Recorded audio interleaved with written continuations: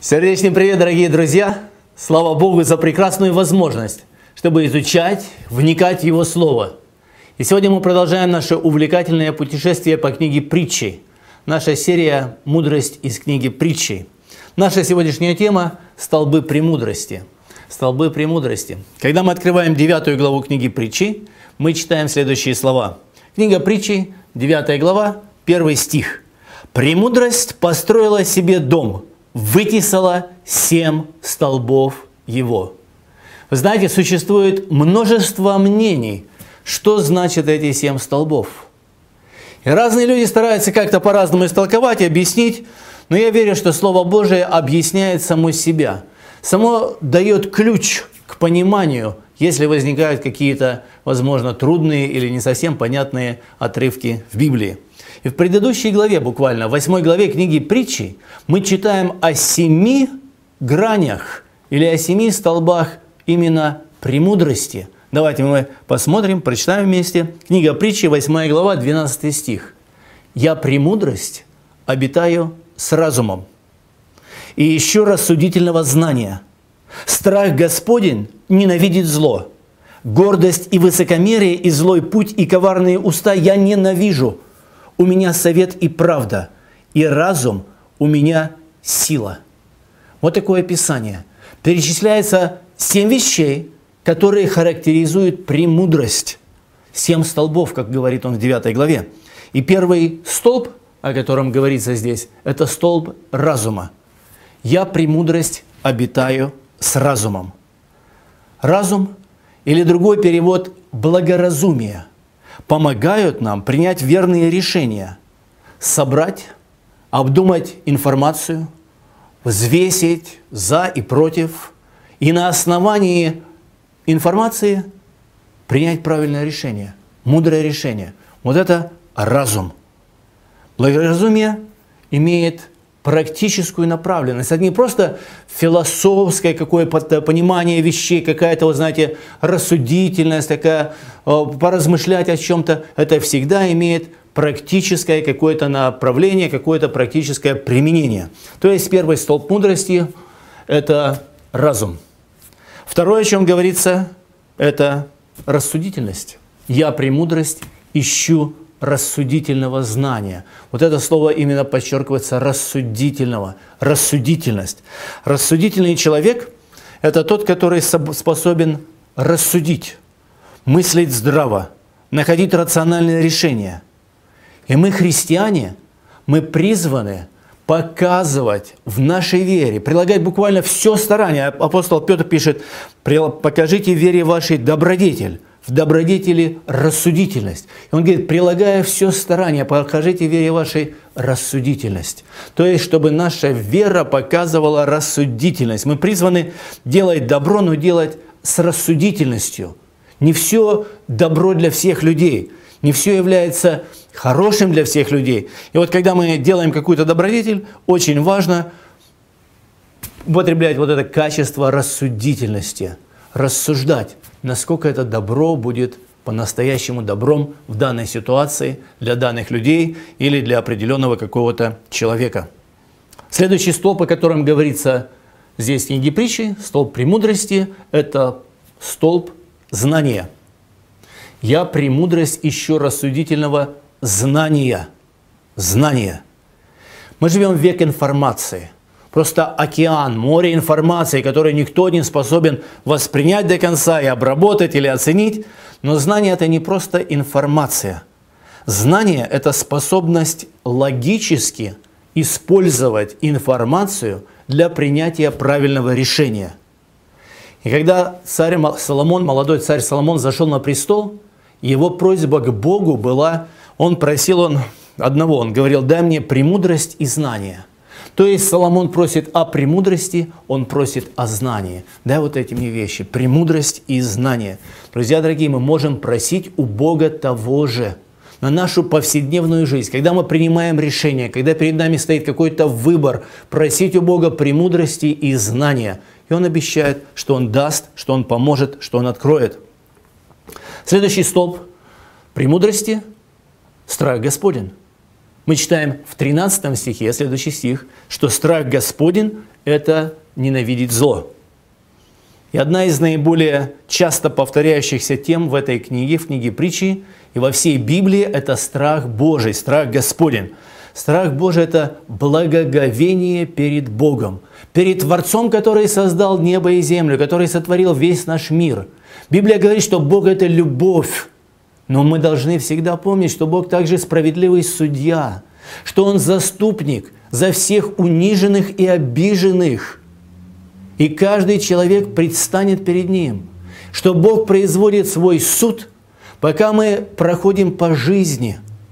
И когда мы переступим порог смерти, Бог определит нашу вечность, рай или ад, место мучения или место радости. Поэтому говорится в Библии очень много о страхе Божьем – и царь Соломон, подводя итог всем своим поискам, всем своим изысканиям, он говорит следующее, это книга Екклесиаста, 12 глава, последние, последние стихи. Он говорит, выслушаем сущность всего. Бойся Бога и заповеди Его соблюдай, потому что в этом все для человека. Ибо всякое дело Бог приведет на суд, и все тайное, хорошо ли оно или худо. То есть страх Божий – это один из столпов мудрости и премудрости божественной. Следующее, смотрите, идем дальше. Следующий столб премудрости – это совет. Написано «у меня совет». «У меня совет». Знаете, всем нужен когда-то хороший, добрый, мудрый совет. Человек, который мудр, он всегда открыт для хорошего совета. Глупый человек, он надеется на свою мудрость, на свои знания, на свой опыт или еще что-то, ему не нужен никакой совет. Но человек разумный, он слушает. И реальность такова, что никто из нас не умен настолько, как мы все вместе. Поэтому и говорится, смотрите, здесь же в этой книге притчи, 15 глава, 22 стих. «Без совета предприятия расстроятся, а при множестве советников они состоятся».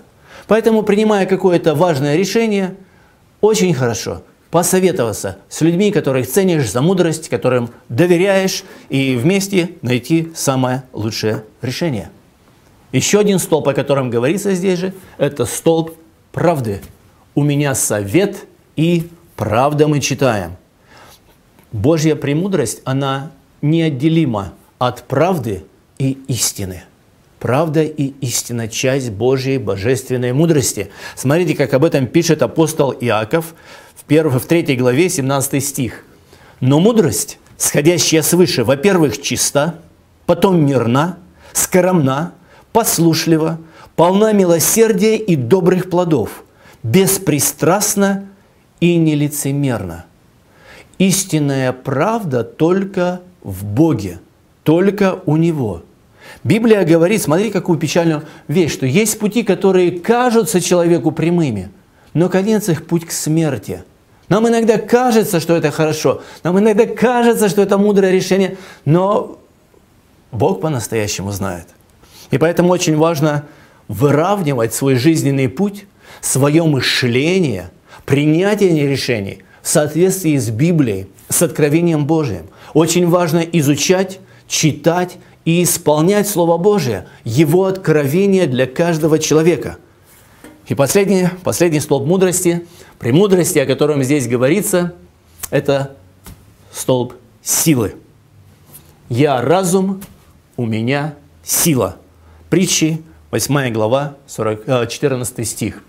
То есть способность не только мудро рассуждать, способность не только философствовать, но также действовать. И вот это необходимая составляющая часть мудрости.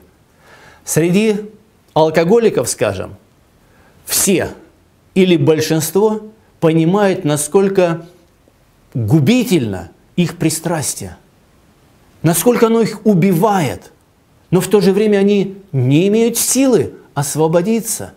И он держит алкоголик просто как змей – многие вещи так в жизни. Человек понимает, но у него просто-напросто нету силы. Может, у него вот это все даже есть в какой-то мере, но если силы нету, он не может свою мечту притворить в жизнь. И поэтому, поэтому очень важно вот, вот эти семь граней, семь столбов, чтобы они все были. И кто-то скажет, где вот мне взять силу? Я понимаю, что сбился, что, может быть, не той дорогой иду, что, может быть, не могу там что-то переступить себя, простить, забыть, примириться или еще какие-то вещи. Где мне взять силу? Смотрите, что Слово Божие говорит об этом. Книга пророка Исаия, 40 глава, 31 стих. «Надеющиеся на Господа обновятся в силе, поднимут крылья, как орлы, потекут и не устанут, пойдут и не утомятся». То есть сила у Бога. Друзья дорогие, сейчас мы будем молиться, сейчас мы обратимся к Господу в молитве. Будем просить Его о премудрости. Он источник всей мудрости, Он Создатель, Он Творец. И Он обещает просящим у Него дать во всей полноте. Поэтому давайте сейчас помолимся, попросим Его мудрости, разума и силы. Да благословит Господь. Милосердный Владыка Бог, Создатель всего видимого и невидимого, Бог Авраама, Исаака, Иакова. Ты создал этот мир, Ты дал нам время на этой земле. Господи, и сейчас мы приходим к Тебе и просим Тебя о Твоей божественной мудрости, о Твоем водительстве, о Твоей силе для принятия нужных и правильных решений, для того, чтобы наша мечта становилась реальностью для Твоей славы.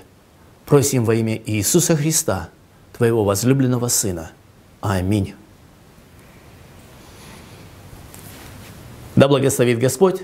Всего вам доброго и до встречи.